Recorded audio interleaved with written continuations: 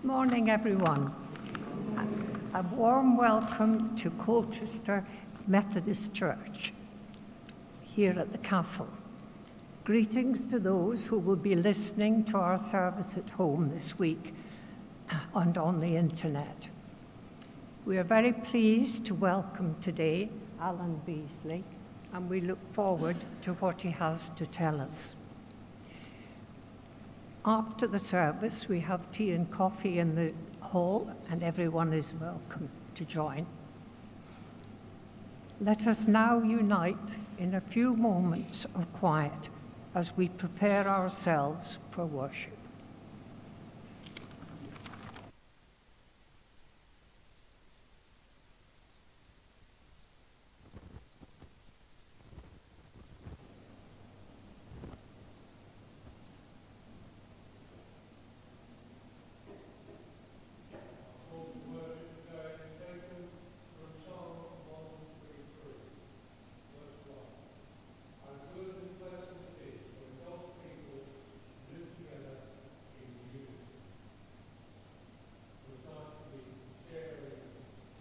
You again. And I'm so glad we've got some younger people here today because uh, I've got a friend who's going to join us in a little while. So uh, it's nice to see you. The theme for today's service for the adults is unity and the fact that we are sent to preach the good news to all. The good news is about the grace of God God's undeserved favour as a result of the death of Christ on the cross, his burial, and his resurrection. And for the children and the younger members, and of course we're all quite young, really, aren't we? Um, then we'll be looking at a slightly different subject friendship and help with friendship. So, with joy in our hearts, we're going to sing our first hymn, which is in not in singing the faith, I understand, but it's all over the world.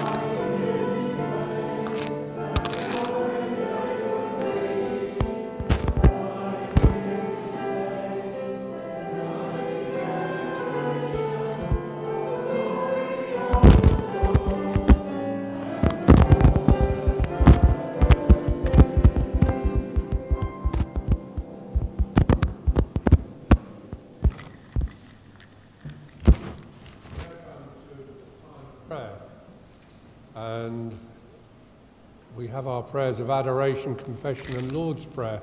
But before we do, I want to remind everybody that this week is the week of prayer for Christian unity.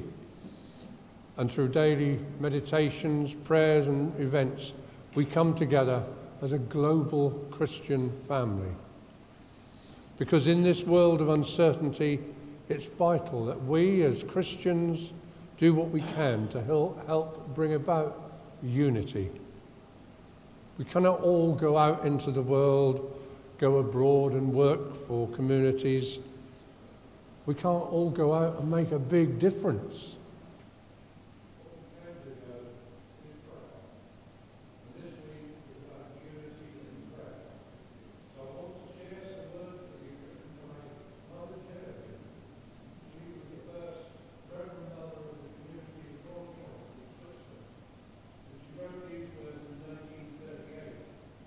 The words still ring true today.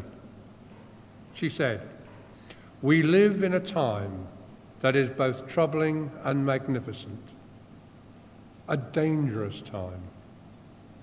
We Christians who know the full value of spiritual life have an immense responsibility and must realize it.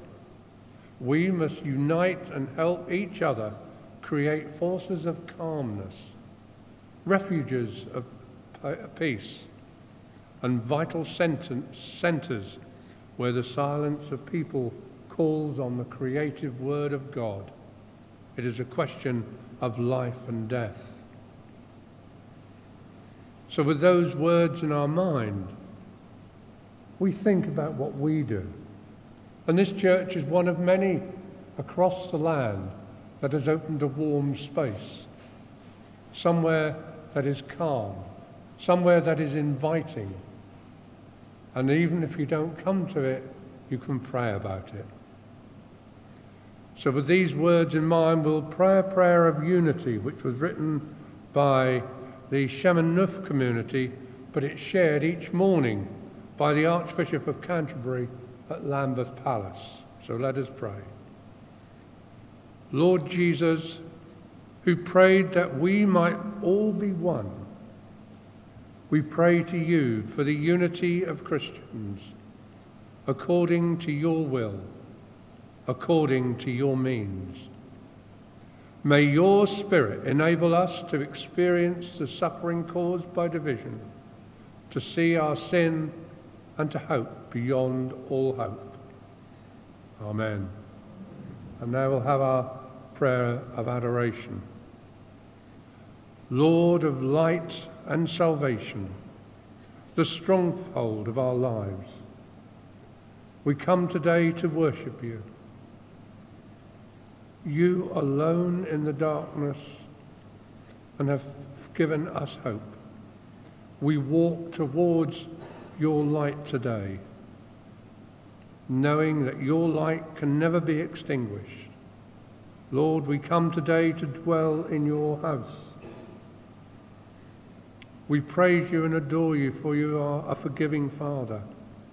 You are Father of all, almighty and powerful. Your kingdom has come near to us, and we come to sit at your feet today and Jesus, who was the light of the world, you stepped down into darkness and came and lived among us. And Holy Spirit, you breathe life into our calling. Your wisdom and guidance helps us to follow you. So we come to sit at your feet today to offer our praises and adoration. In the name of Jesus we pray. Amen. And now a prayer of confession. Forgiving God, we are sorry when we say one thing and do another. We are sorry when we say yes and then say no. We are sorry when you call us and we choose not to follow. Lord, you have called us to follow you. We are sorry when we choose to ignore you. We are sorry when we choose to do what we want. And we are sorry and respond to your call. As you called the fishermen to leave their nets and follow you, help us to follow you, to go in a new direction with you we ask you to transform us and make us whole and help us to enjoy the journey with you. because, loving and merciful God, who has called us to repentance, we are truly forgiven by you. We are washed clean by your blood and can respond to your call to follow you, knowing we are healed and restored. Amen. As I said, we've got a friend joining us today, just for a little while anyway.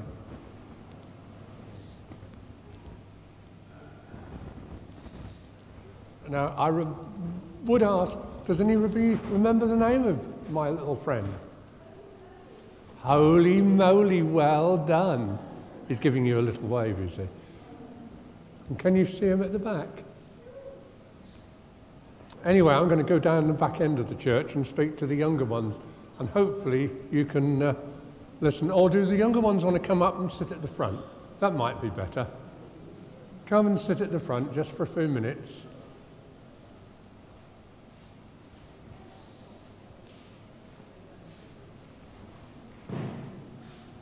Well, that's four, four and a half. Hang on, nearly got five.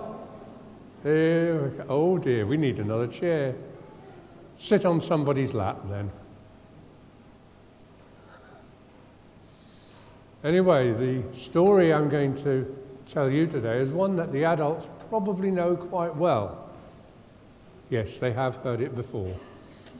It's about a man. He was about a story that Jesus told. This man was walking between two towns. And he was walking on his own. And halfway along, he got mugged. He got robbed. And the robbers beat him up, took his money, and left him lying on the ground. Now, in those days, they didn't have mobile phones. Yes, I know you've got a mobile phone. He's always on it as well. But they didn't have mobile phones. They didn't have police running around or driving around because they didn't have cars. So this poor man, he just laid in the road, couldn't get up from his injuries. Well, not too long after, a priest came by. Now, is a priest somebody you think might help him? Yes. Well, he should have done, but he didn't. He took one look at the man and thought, ooh, then robbers might still be here. So what did he do? No. He walked on the other side of the road and hurried past and went on his way, leaving the poor man lying there. Well, a little while later, a Levite came along. Now, he's a special sort of priest that works in the synagogues. And he saw the man lying there, and he looked at him and thought, oh, should I go and help? Do you think he went and helped? No, he didn't. No, he decided to cross the road and walk away as well because he thought, oh, I haven't got time to help because I'll be late. So he hurried off. Well, a little while later, another man came along, a little businessman with his donkey, and he saw him lying there. And this man was a Samaritan. And the Samaritan and the Jews didn't like each other. They tended to ignore each other. But this Samaritan, he saw the man lying there, bleeding, obviously not very well at all. And you would have expected him to carry on walking with his donkey, but he didn't. He stopped, he tended the man's wounds, and then he said, Let's put you on my donkey and he took him to the nearest inn, or hotel as we would know it. And he took the man off, took him into the hotel, and asked the hotel man to look after him. And he gave the hotel man a large sum of money to look after him and said, If it costs any more, I'll pay you the rest when I come back. And off he went. Now, who do you think was the friend who do you think made that poor man feel a lot better?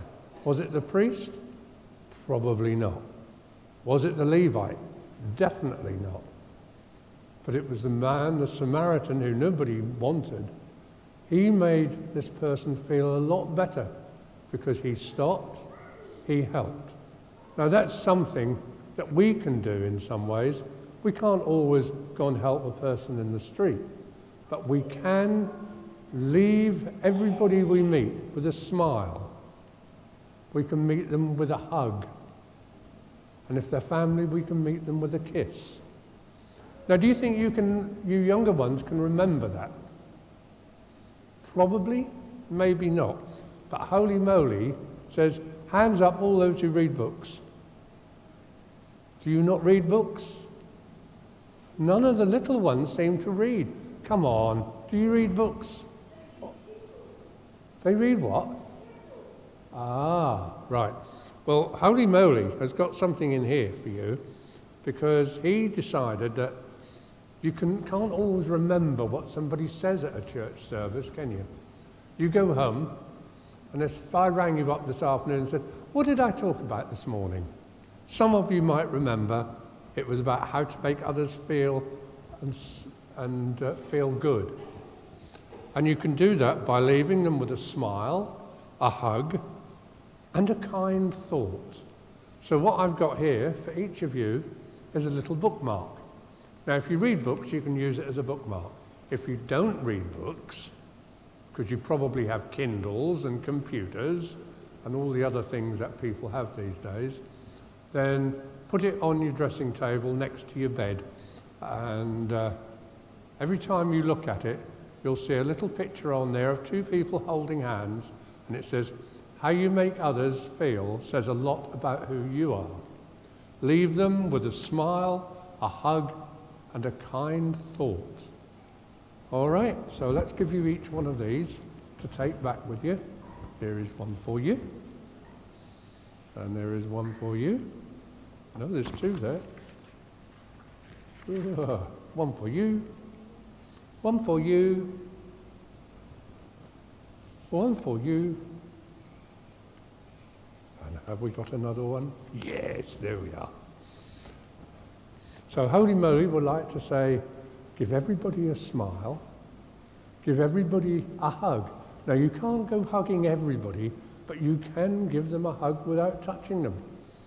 And we do this at our church. We go, or we go, like that with our hands, and we make a heart shape. So just remember, everybody you see, leave them with a smile, a hug, and preferably a kind thought. Because in that way we will have unity together, we'll have peace in this world, and we'll all get on a lot better together. Anyway, you can go back and join your mums and dads and family, and then we'll have our next hymn. No, you're going to go to sleep now.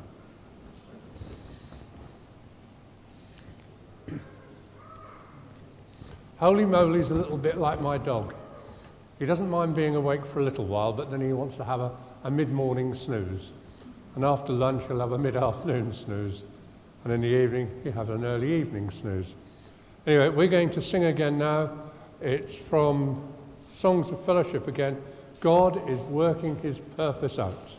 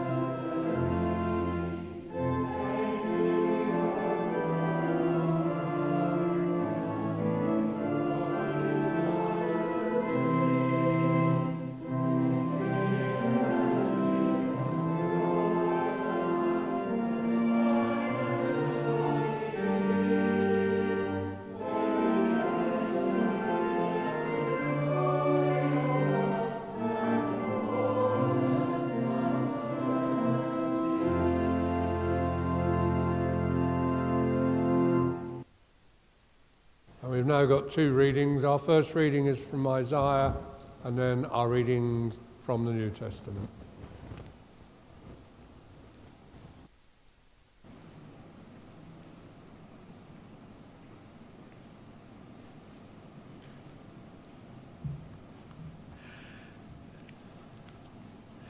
First reading comes from Isaiah 9, verses 1 to 4. Nevertheless, there will be more gloom for those who were in distress. In the past, he humbled the land of Zebulun and the land of Naphtali, but in the future, he will honour Galilee of the nations by the way of the sea, beyond the Jordan. The people walking in darkness have seen a great light of those walking in the land of deep darkness. A light has dawned. You have encouraged the nation and increased their joy. They rejoice before you as people rejoice at the harvest, as warriors rejoice when dividing their plunder. For as in the day of Midian's defeat, you have shattered that, the yoke that burdens them, the bar across their shoulders, the rod of their oppressor. Second reading comes from 1 Corinthians verses 10 to 18. A church divided over leaders. I appeal to you, brothers and sisters, in the name of our Lord Jesus Christ, that all of you agree with one another in what you say, and that there be no divisions among you, but that you are perfectly united in mind and thought. My brothers and sisters, some from Chloe's household, have informed me that there are quarrels among you. What I mean is this one of you says, I follow Paul, another, I follow Apollos, another, I follow Cephas Still another, I follow Christ. Is Christ divided? Was Paul crucified for you? Were you baptized in the name of Paul? I thank God that I did not baptize any of you except Crispus and Gaius, so no one can say that you were baptized in my name. Yes, I also baptized the household of Stephanas. Beyond that, I don't remember if I baptized anyone else. For Christ did not send me to baptize, but to preach the gospel, not with wisdom and eloquence, lest the cross of, lest the cross of Christ be empty of its power. For the message of the Christ, cross is foolishness to those who are perishing, but to us who are being saved, it is the power of God.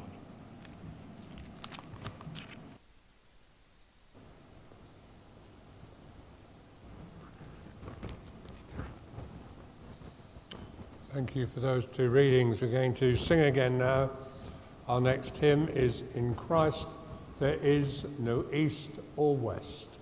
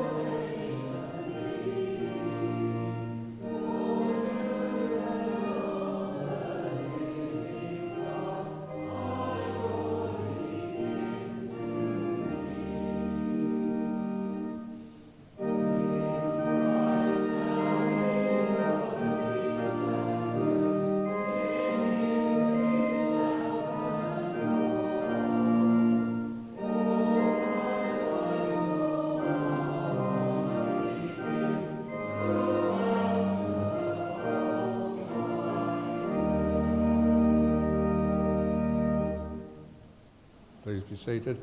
And we'll now have our gospel reading, please.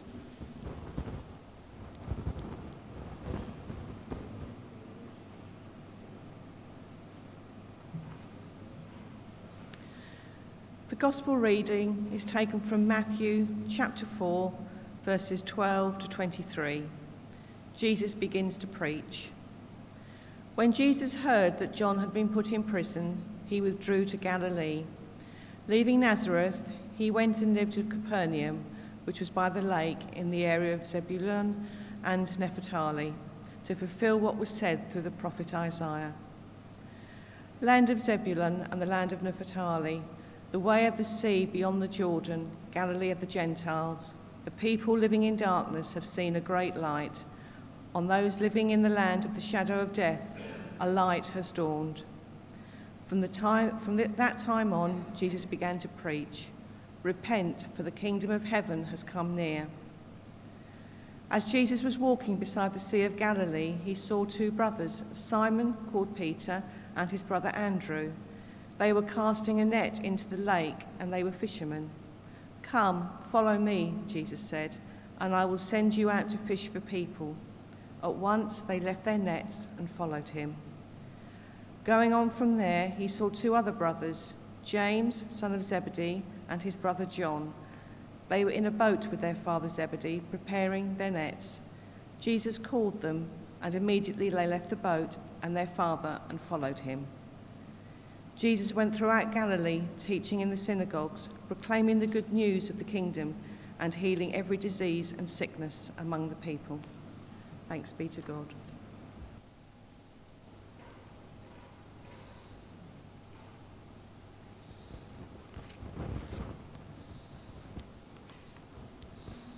Thank you for that reading. May the words of my mouth and the meditation of our hearts always be acceptable to you, O Lord, our strength and our Redeemer. The theme for today is We are sent to preach the good news.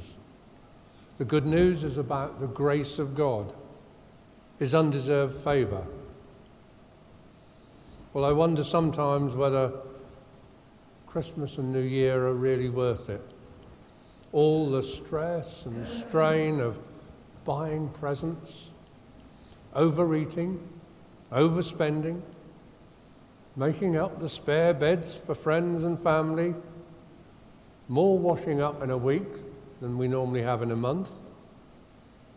And then thank, remind, to thank everybody for the cards and the presents, many of which end up being recycled or given away.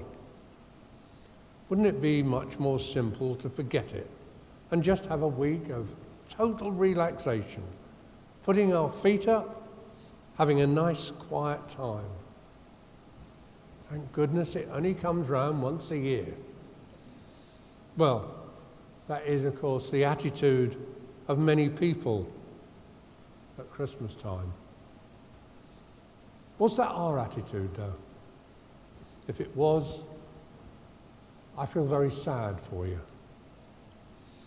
Of course, if my wife or my children or grandchildren were here, I would not probably have been brave enough to say it because they would turn round and castigate me. They would call me Scrooge and probably end up not talking to me for the rest of the week. But to mention it proves that for many the real meaning and message of Christmas is lost, and we can't remember what we're supposed to be celebrating. Let us remind ourselves we were celebrating the birth of our God in a world as a human being. Or as Wesley put it, our God contracted to a span, incomprehensibly made man. Christmas and New Year are important to us as Christians because it is firstly a time when we remember that event over 2,000 years ago when our Lord and Saviour was born. Secondly, with New Year, we are given an opportunity to rethink our lives and to put right whatever was wrong with it last year. Jesus came into our world as a human being with all the frailties that we have. He came into a world which was in chaos, much as our world is in chaos today. He came into a world where some prospered, but many were poor. Many were frightened, and lots of people were scared. As we know from Scripture, soon after his birth, he and his parents had to leave the country they lived in and travel to another to seek asylum. They sought it because they were in fear of their lives, because Herod wanted to kill Jesus. I wonder, is the world any different today? We see so many people across the world being persecuted for their religious or their cultural beliefs. We see many dying of starvation or illness because they cannot afford the basics which most of us take for granted. So many have lost their homes through the actions of others. But what do we do about it? We carry on in our relatively stable relationships, saying these problems are not of our making, and there's not a lot we can do about it. Even in our own country, we have many problems. The different factions within the different churches, sometimes even with our own, within our own church. Just the other day, I was talking to a lady who lives near Lexden Church, who doesn't come to our church very often because she doesn't approve of women running services. I had to tell her that I totally disagreed with her view, and some of the best sermons I've heard have come from women. Her view was that it should be men. She wasn't happy when I told her that I liked women preaching. I liked attending services where women led the services. I asked her, I said, and when my wife is leading a service, would you come to that? And she said, Probably not. I said, Well, that's very sad because you're the one that misses out on the love that comes from a service. But let's look at our readings today because we don't seem to learn from the mistakes of the past, do we? Firstly, we heard from Isaiah. He lived hundreds and hundreds of years before Jesus was even born. He was a political advisor to King Ahaz in Jerusalem. And at that time, his country was in turmoil. It was being threatened with invasion from the Assyrians in the north.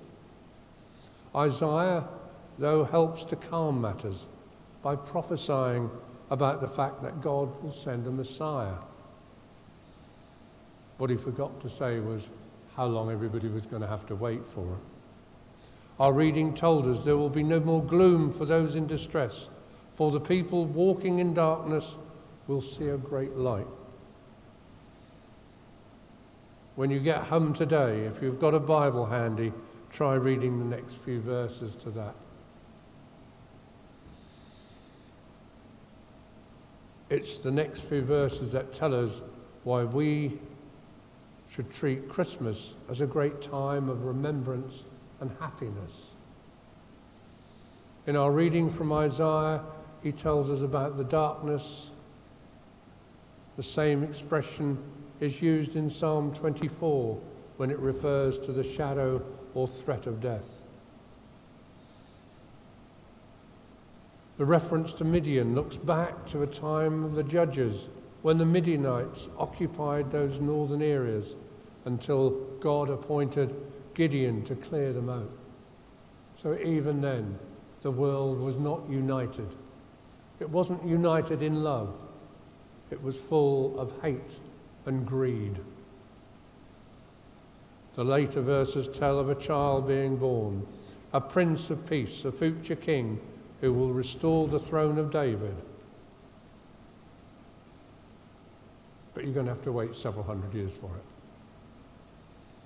But let's move on. Let's move forward to the time after the death and resurrection of Christ. We have Paul, who was in a way responsible for the Christian movement growing across the world. The Corinthian Christians had broken, though, into many groups. They're divided rather than united. Each identified with a different patron. There was Paul himself, Apollos, Cephas or Peter, and Christ. Paul tries to bring them all together by telling them to be of one mind. I wonder how many times you've been to a church council and thought, oh, if only everybody could agree, wouldn't it be nice?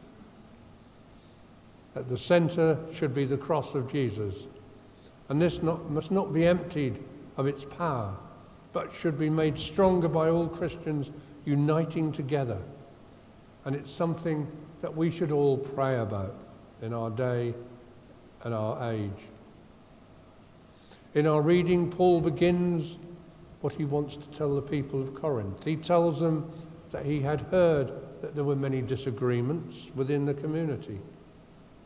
And Paul, of course, had spent time in Corinth years previously, helping to build up the Christian community with both the Gentiles and the Jewish communities.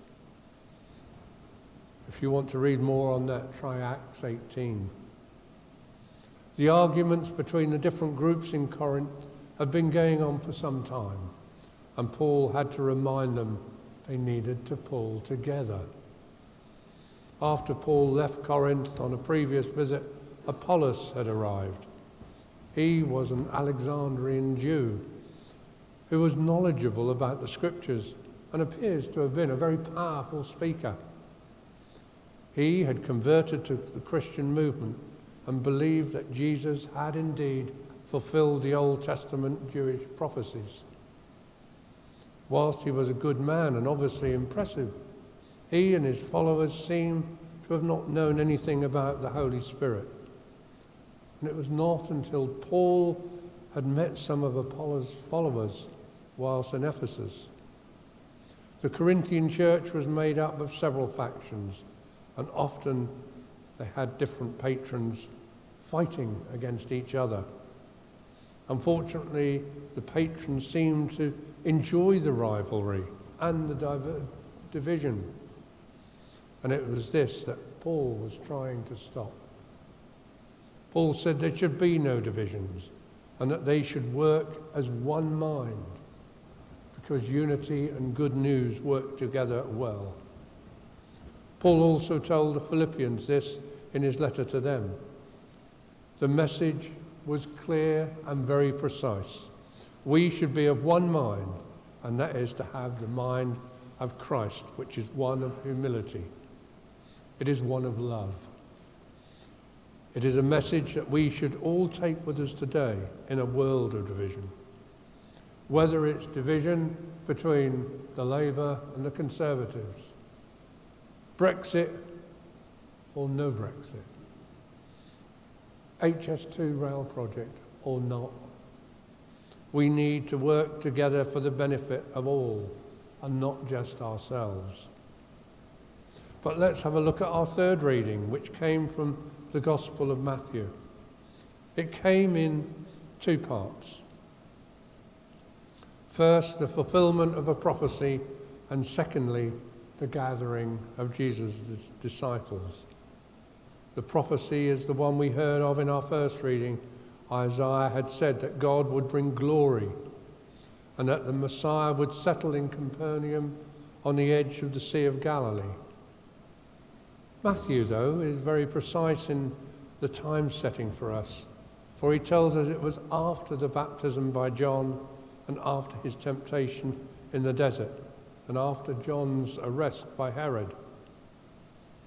Jesus' first teaching is to repent because he says the kingdom of God is near.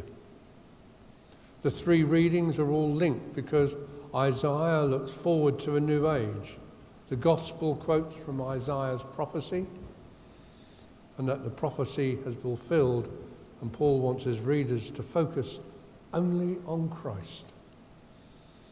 Only on Christ and the cross in order to help them overcome the many divisions between them.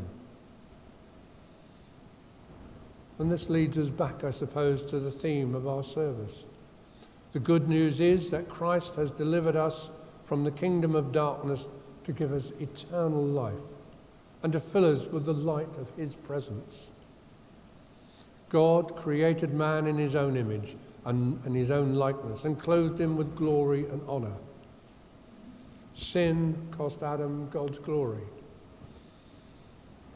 But we have the opportunity of renewing our love with God every day. When we wake, we should praise God. When we go to bed at night, we should thank God. It took the grace of God to restore life and bring light into the world through Jesus Christ. John the Baptist, of course, proclaimed it, calling Jesus the Lamb of God who takes away the sin of the world. Jesus was crucified and buried for us. But God, in his grace for us, raised him from the dead. So if we're going to bring unity and good news to everybody that we meet, then there are steps we need to take. God loved us whilst we were yet sinners. The good news is about the cross of Christ that made God's grace possible. We may not have deserved his love, yet he loved us enough to die for us. Christ, of course, paid the penalty for our sin.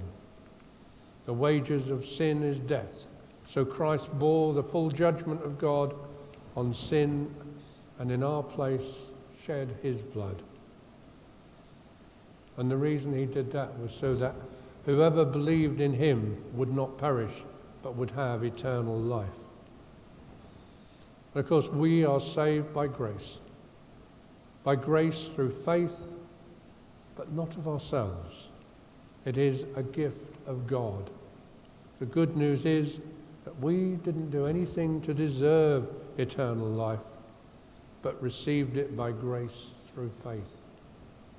The blood of Christ has not only paid the penalty for sin, but has also imputed us to the righteousness of God. We are saved because of Jesus Christ. Therefore, we should thank him for it. We should also not just thank him, but we should do something about it. We should try and bring unity. We should proclaim the gospel to all we meet. Now, I have a son in law who unfortunately is not a Christian, doesn't believe in it. But we don't have to, in his terms, Bible bash everybody, because that's probably not the way it's going to work. We can show unity and display the good news of the gospel by one very easy thing. The same thing as I mentioned to the children this morning smiling to people, giving them a hug, listening to their problems.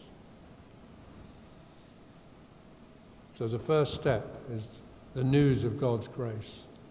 The second step is it's a new good news to everybody, believers or non-believers. By accepting God's grace ourselves and accepting that we are truly Christians, then we are saved. We can therefore help save others by telling others the good news. The good news is to be preached to everybody. There was a time when, of course, missionaries will leave the comfort of their families and their homes and lands and go off to places to preach. Doesn't happen quite so often these days. With the internet and everything else, it can be done from your own home. Zoom meetings, Zoom prayer meetings. Unfortunately, there is so much poverty and badness in this world, we need to pray about it. But we not only need to pray, we need to try and do something about it. And the third step, I suppose, having learnt of the good news of God's grace and the fact that the good news is for all people, then we need to accept the good news can lead to changed lives.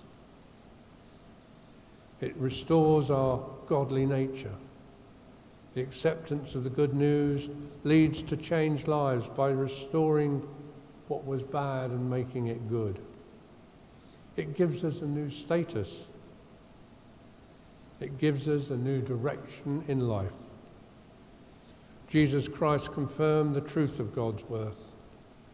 When John the Baptist, in his prison cell, focused on his circumstances instead of the world of God, he began to doubt whether Jesus was really the Messiah. And he wanted confirmation. Jesus dealt with him, with his doubt, by referring him to what was happening. He said, The blind receive sight, the lame walk, those who have leprosy are cured, the deaf hear, and the dead are raised. And the good news is preached to the poor. Jesus referred to John the Baptist to what the Word of God was all about. But the good news is the best news we can ever share. It changes lives, not only in time, but also in eternity. And it gives us access to the grace of God. It's not just good enough to hear the good news, we need to respond to it.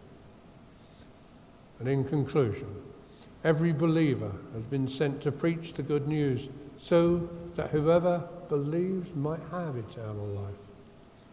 We cannot preach the good news about the grace of God and not emphasize the basis of that grace that is the cross of Jesus Christ. It is only our faith in Christ that can take hold of the provisions of our life. We need to prioritize the sharing of the news, knowing that it will be justified. And we do this in praise and adoration of our Lord and by making certain that we share our unity and our love of God with those we, we meet. So, as we said to the children, and everybody you meet, give them a smile, tell them something nice, and the world may one day come into unity. Amen. We're going to sing again now from Singing the Faith, number 690, the Church's One Foundation.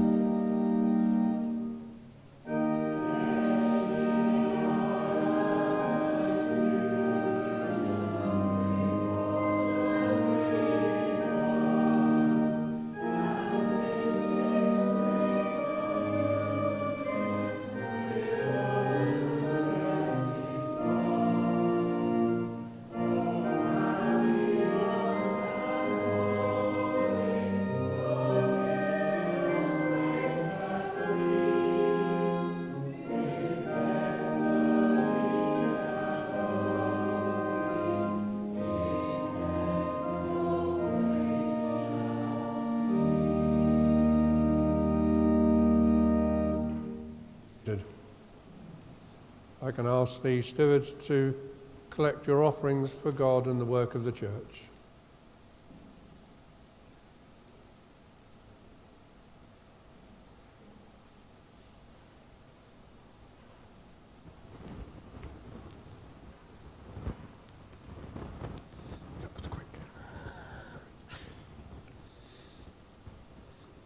Father God, we have so much to thank you for. For our lives, our food, our friends, our unity. And we thank you also for Jesus. But now we offer these, our gifts of money. We ask that you take them, use them to further your work throughout this circuit and throughout the world. And with it, we offer ourselves in your service. Take us and use us as you will. In Jesus' name we pray. Amen.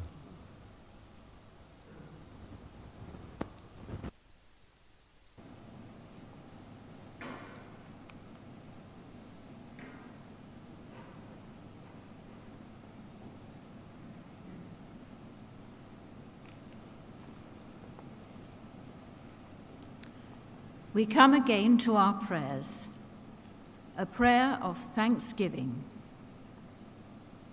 We thank you, gracious God, for your love for all creation. In compassion and goodness, you reach out to all people and forgive the sins of those who are penitent. You show no partiality, you have no favorites. We thank you for Jesus, who came to bring good news to the poor and recovery of sight to the blind. We thank you for the first disciples who responded to his call and left their nets to follow him, and for the bright succession of all your faithful servants. We thank you that Jesus, crucified, risen, and ascended, is the head of his body, the church, into which we are all baptized in the one Spirit, whether Jew or Gentile, slave or free and called to be united in the same mind and the same purpose, to share in your mission throughout the world.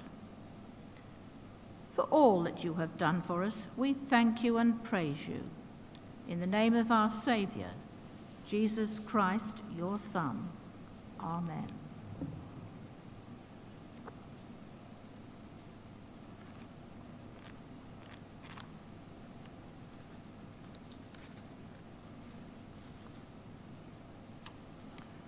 And now we come to our prayers of intercession, remembering individually all those we know who are in particular need at this time, including those who minister to us.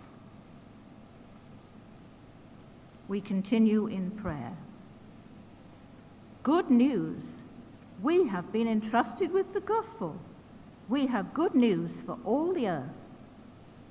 God of truth and love, we pray for the mission of the church, for Christians bearing witness to the gospel throughout the world in conversation with others, through preaching and teaching, by loving and courageous action.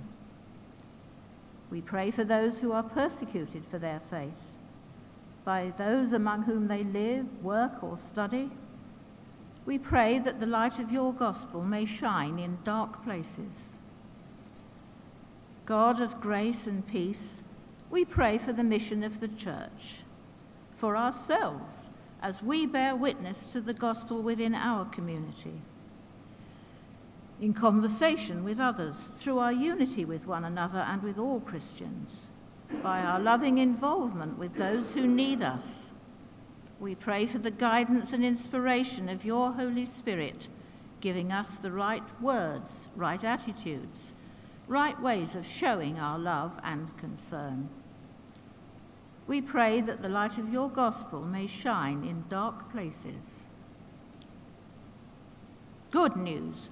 We have been entrusted with the gospel. God has given us the good news of salvation to share with all the earth. God of power and glory, we pray for the coming of your kingdom of love. In the name of Jesus Christ, your word, made flesh. Amen.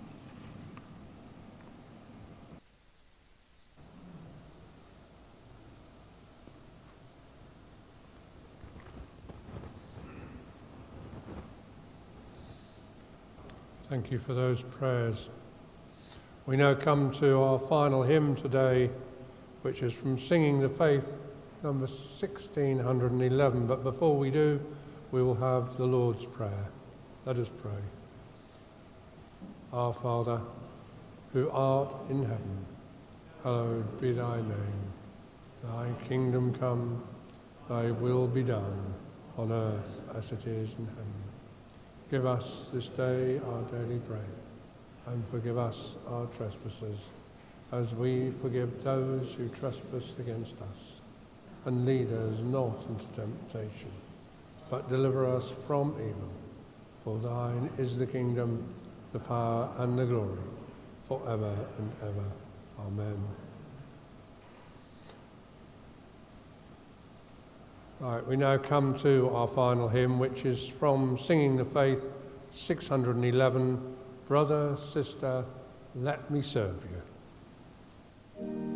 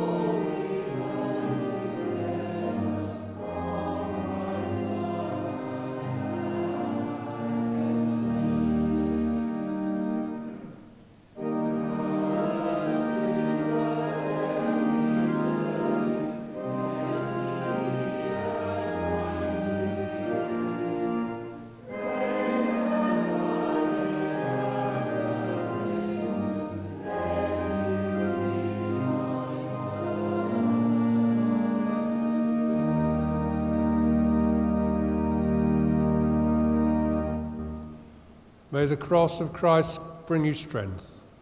May the church of God bring you fellowship. May the love of God bring you joy. And may the blessing of Christ bring you confidence. And the blessing of God the Father, the Son, and the Holy Spirit be with you now and evermore. Amen.